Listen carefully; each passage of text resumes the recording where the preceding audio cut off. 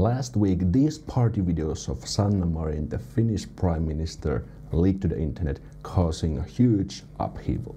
I don't usually go into politics, but today I'm gonna make an exception. So I'm gonna talk about what happened exactly and why this is such a big deal for Finns. Watch the whole video before commenting and let me know what you think of this. Let's go. During the weekend between 5th and 8th of August, Sanna Marin was partying in a private apartment with other celebrities, singing, dancing, and having fun. And there were actually two different parties in two different apartments, and after that, they continued in a club. And as we all know, the videos were meant to remain private, but someone leaked them to the internet. There have been speculations about drug use because what people said in the video. And the keyword of the video was jauhojengi, and it's a compound word of two different words. Jauho, which means flour, and jengi, which means gang. And it seems jauho, flour, is a slang word for drugs although not very common. According to linguist Lasse Hämäläinen, who had a sample of 10,000 messages from drug-related forums, the word jauho only appeared once. Another questionable line in the video was tästä tulee hyvä fiilis, which means something like this makes me feel good.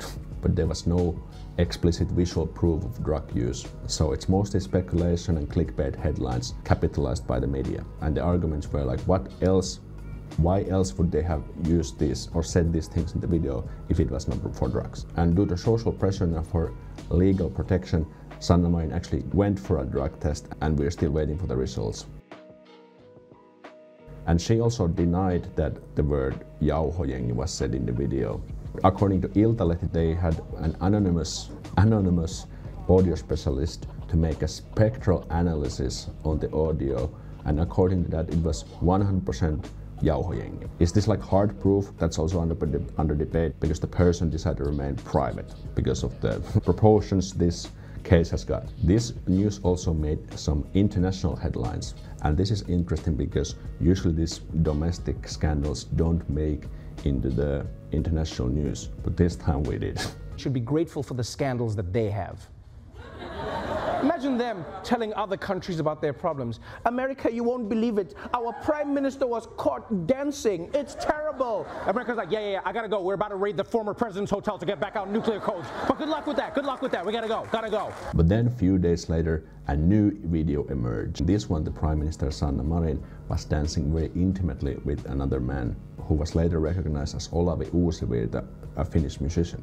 And this video was from the same night as the other parties, and this was nightclub Teatteri, which, uh, according to what I read, is a common club for celebrities. One specific part where the media again capitalized is the part the man is leaning towards her in a way that it would look like that he's giving her a kiss on the neck.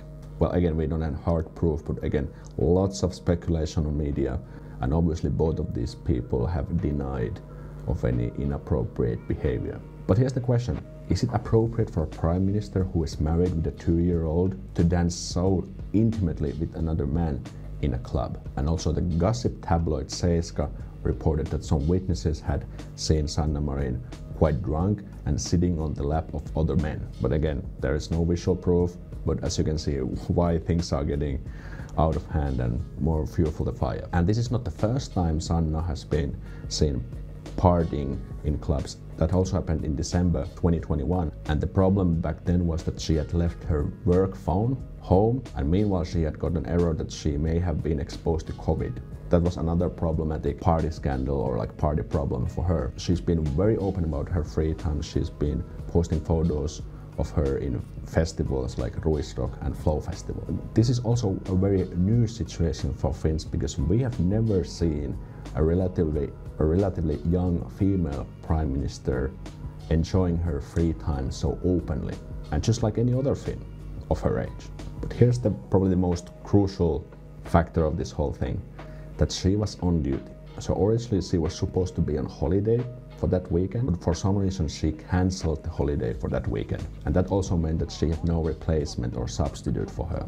And later she told media that it was due to human error, whatever that means. Here's the thing when you are prime minister, you're basically working 24 7 and you have to always be available, like reachable, and able to work. And she also told media that at that night she was capable of going to work if something came up, but in my opinion, looking at the videos, she seemed quite drunk, or at least tipsy. but what she also told is that if there was a crisis coming up, she would know that in advance. Okay, fair enough, but I mean, it sounds a little bit optimistic, and I don't think that's a reason to get drunk on duty. For reference, in 1994, when Estonia ship sank in Baltic Sea, uh, the Prime Minister at that time, Esko Aho, got a phone call at 4 a.m. that something has happened in the Baltic Sea, and he decided to have a crisis meeting three hours later at 7 a.m.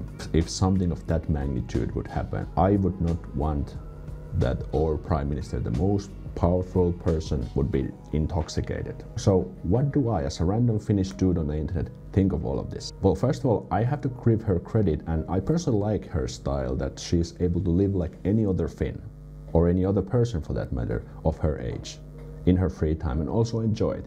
There's nothing wrong with that, and I think that's just awesome. But there were a few problems in this scandal. First of all, there were these verbal hints of drugs. Although there is no hard proof of that she had taken any, and I also believe that she didn't take any. And secondly, she was dancing too intimately with another man in a club, like openly. And she was on duty during all of this. And she had had these like few mess ups before. So a little bit of lack of judgment, in my opinion. And here's another question. From now on, what will be considered as acceptable behavior for people like the Prime Minister? Let's say if we had a male Prime Minister and he did this would that be okay? So I'm not in a position to evaluate her performance as the prime minister, but considering the circumstances, COVID, the Ukraine crisis, I think she's done like at least a decent job. And of course, there are things that always can be done better. But all in all, I think this whole thing kind of got out of hand and to like ridiculous proportions, thanks to the misinterpretations and of course media making these clickbait headlines. What are your thoughts on this? Let me know in the comments below, but keep the discussion constructive.